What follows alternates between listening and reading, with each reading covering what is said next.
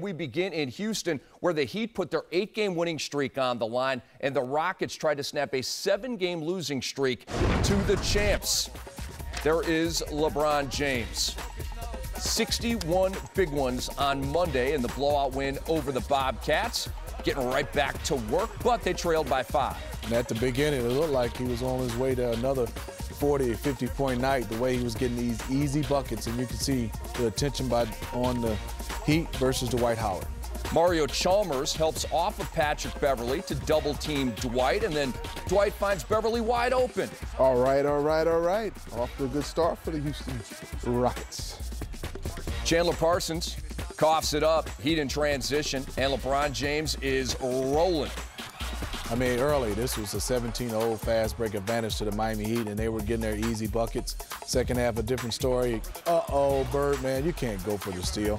Dwight Howard came in a game time decision with a back injury. He had 22 points and 16 rebounds. D Wade had 15 of his 24 in the first half. That was almost Smitty's under the rim, but he cleaned it up. Nice to have him in a back-to-back setting. They needed him tonight. How about that for under the rim, Smitty? Yes, indeed. Ding, ding, ding, ding. We got a candidate. 21 points, 11 dimes for Harden. Houston led by two at halftime. LeBron James has it poked away by James Harden. Beverley to Parsons. Houston by eight. Nice finish. Patrick Beverley with a lot of energy and a lot of impact in this game. And then it's Parsons to Harden to put the Rockets up 14. They led by as many as 15. Just a beautiful move in the open court. One versus two. He gets a layup out of which you thought would have been defensive stop for the Miami Heat.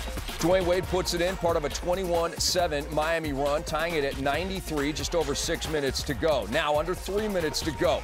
LeBron James guarded by Patrick Beverley, who leaks out and scores. He had 19, Rockets by nine. Now we take you under 30 seconds left. The Heat are going to find Michael Beasley, who makes it a three-point game. This is what they're hoping to get from him later on in the playoffs. He's getting warm. Had a big night tonight. He had 24 ensuing possession. James Harden throws it away looking for Dwight Howard. Now, come on, James Harden. You can't throw it away, but also you can't throw it in the vicinity of Dwight Howard because if he catches it, obviously the Heat were going to foul, and LeBron took one right across the jaw. But he would stay in the game, and it would come down to him against Dwight Howard. It's like an all-star game. Superman versus Batman. This one for the tie and overtime, no. And Houston wins 106 103.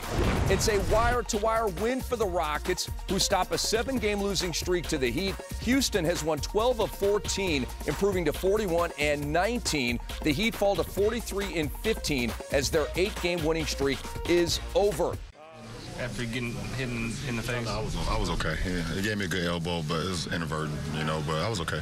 When you said you felt fatigued in the second half, did that feel like that affected your shot a little bit? No, it didn't affect my shot. Um, I don't. I think I took seven. I took seven shots. I think I was one for seven, one for eight in the second half. Uh, you know, just happens. One of those one of those nights where you just you know your legs kind of give and uh, you, know, you just try to rely on everyone else. This is the first time you've seen this Rockets team with Dwight Howard and James Harden paired together. What was just your overall impression? Very, very good offensive team. High-powered offensive team, and uh, you know it's the reason why they have uh, 41 wins in this uh, unbelievable league of ours. So LeBron James was unstoppable on Monday night, and we take a look at his first career high of 56 in 2005. He followed that up with 29. His encore following Monday's career high 61 was 22, and we're going to break that down now with Smitty and Rick Fox. So for LeBron, 19 to 3, first half to second half in scoring, and only had one rebound for the entire basketball game. What happened with LeBron on Tuesday? Give the Rockets a lot of credit. Chandler Parsons and team defense, um, they played pretty good. Also, on their offense, they didn't turn the basketball over in that fourth quarter and second half. And then you know if you turn it over, that's an easy two points for the Miami Heat, and nine times out of ten, that's LeBron James. Also, he wasn't aggressive enough, maybe getting to the free throw lane a free throw line, maybe a little tired from that game. And yeah. Chandler Parsons also having a shot blocker by Dwight Howard back there kind of uh, have you thinking about whether you should drive it a lot or not. So give the Houston Rockets a lot of credit, and but he still had some points for the for the Miami Heat. I think he was really, as he said in that interview, really impressed with their offensive uh, effectiveness. Uh, very high powered as he gave it, but he also also gave it away. He said he's pretty exhausted, his legs gave way, and he had to rely on his teammates. Uh, he carried a heavy load without Dwyane Wade uh, the other night against the Bobcats, and so therefore didn't have much left in the second half tonight.